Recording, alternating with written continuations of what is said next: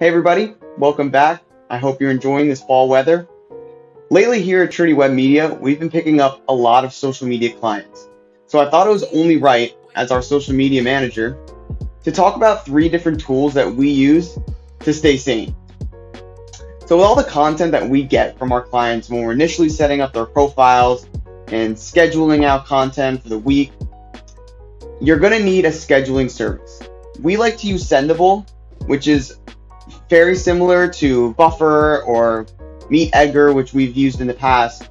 What we like about it is we can have other users within the calendar so they can see who scheduled things out and when it's scheduled out. It's also great to go through for an approval process. So someone else in our team can create a post and schedule it out, and then I can review everything before it gets published.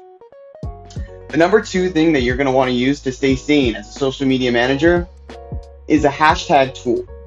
You can go online and look up just hashtag experts or some or other services that just recommend hashtags.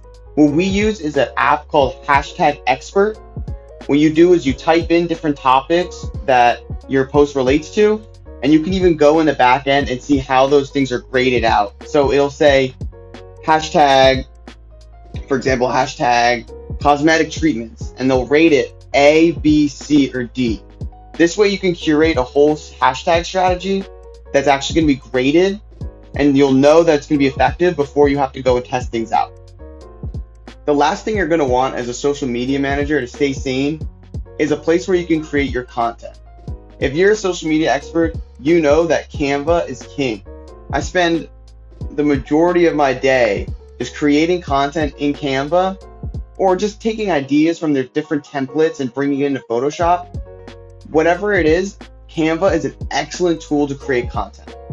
So just to wrap things up, the three different things that you're going to want to stay sane, you need a scheduling service. We recommend Sendible. You're going to need hashtag tools to curate hashtags. We use hashtag expert, which is an app that I can leave in the description. And you also are going to need a place to create your content we recommend Canva.